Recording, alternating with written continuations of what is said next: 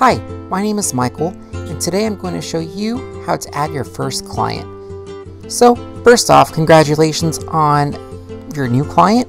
Now all we need to do is get them into your system. So for starters, go ahead and go to My Clients, and then click on Add New Client. Once you click on Add New Client, you will want to go ahead and fill in their information.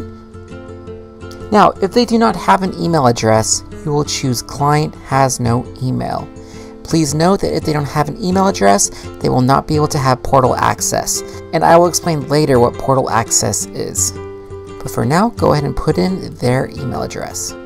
Once you do that, you're going to want to add in their social security number, their date of birth, their phone numbers, and their mailing address. The reason why you need to add in their social security number, date of birth, and their mailing address is because this information will show up on their round 1, round 2, and further letters. So this is very important so the uh, credit bureaus and the agencies can go ahead and confirm this client's identity. Once you finish submitting their information, you will go ahead and go to status and if this is a client, you can leave this as client.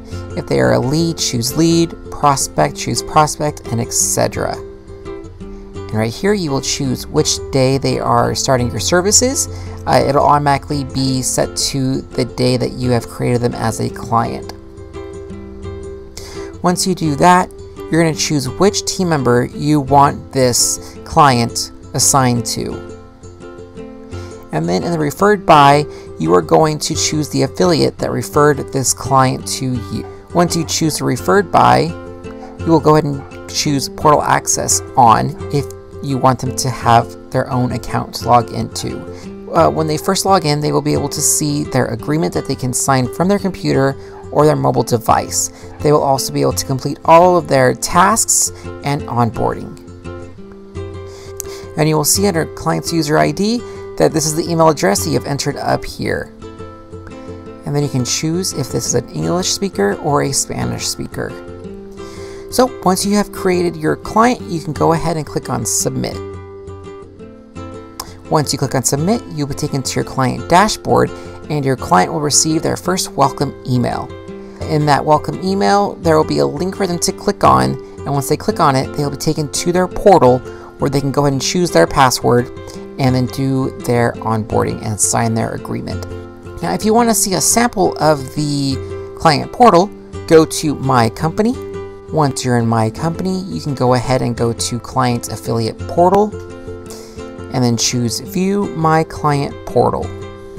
Now, after your client signs their agreement, they will be taken to their portal where they will first see this video. After they click on this video and watch the animated introduction, they can click on continue.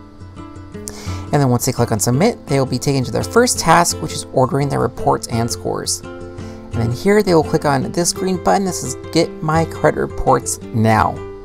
After they order their report, they will click on next.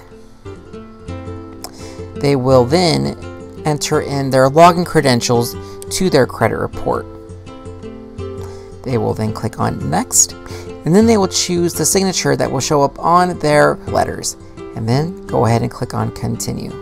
They can then upload their photo ID using their smartphone or from their computer. And then the same thing for their utility bill. They can use a smartphone or they can choose a file from their computer.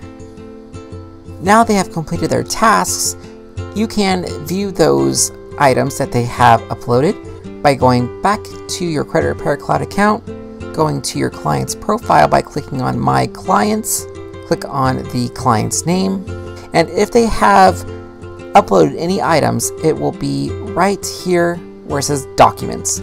So their photo ID would be here, and you could download it. Same thing with their utility bill, and you can download that as well.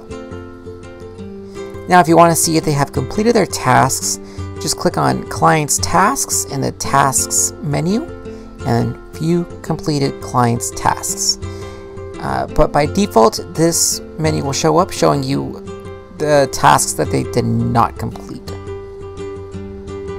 Alright, well that is how you add your first client. Congratulations once again, and thank you for being a Credit Repair Cloud user.